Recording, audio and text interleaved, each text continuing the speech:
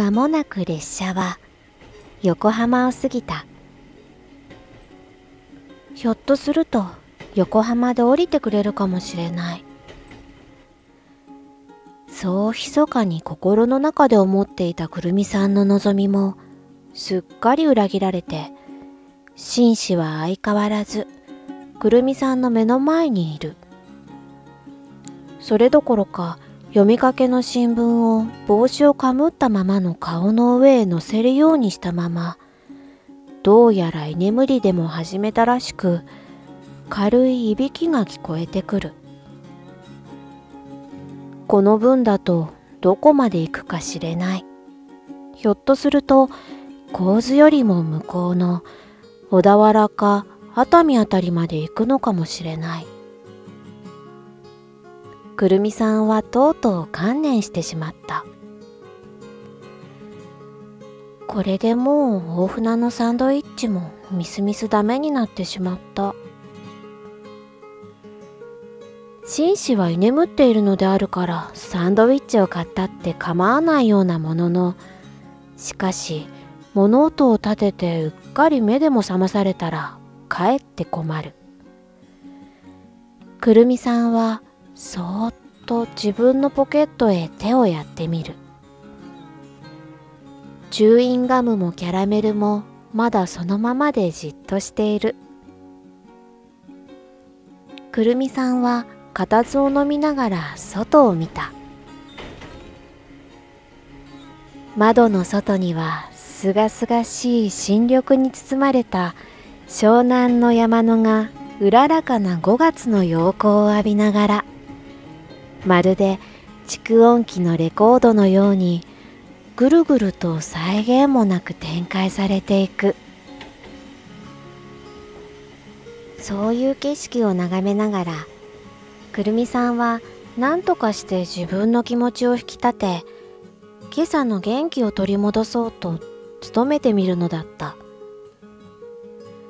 ところが気持ちが引き立てられるどころかこの時かえって大変もないことが起き上がってしまった。さっきから少しずつずれかかっていた紳士の顔の上の新聞がこの時ガサッと音を立てて紳士の横座りになっている膝の上へ落ちてきた。くるみさんはひやりとなった。どうしようかと思って紳士の顔と落ちた新聞を見比べた。無論このままそっとしておくより仕方はない。がしかしこの時くるみさんは思わずぎくりとなった。紳士の顔は後ろのもたれと窓枠の間へはまり込むようにして居眠っているので帽子が前へずれて半分隠されたようになっているがそれはさっきのままの顔である。くるみさんがびっくりしたのはその顔ではなくて落ちた新聞の方である。その新聞は落ちた表紙に裏返しになってさっきまで紳士が熱心に読んでいた方の面が出ているのだ。くるみさんは全く何気なしにその新聞を見たのであるが思わずギクッとなって危うく声を立てるところだった。それは三面記事の上の方の右肩のところに次のような恐ろしい文字が大きな活字で印刷されてあった。覆面の盗賊本業渋谷のバツバツ銀行を襲う。公金を強奪して逃走す。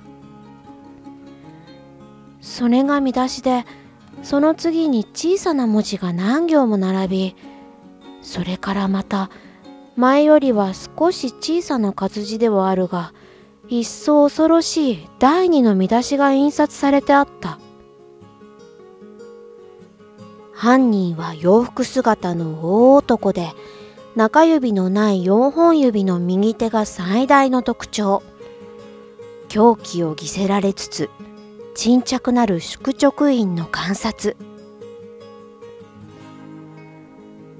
くるみさんは急に目の前がクラクラっとなって思わず後ろのもたれへ寄りかかってしまった。